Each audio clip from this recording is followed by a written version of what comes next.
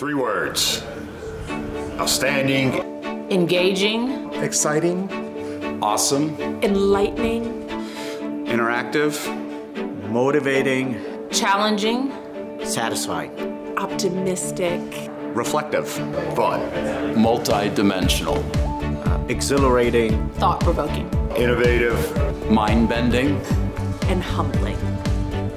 And um, I would say provoking.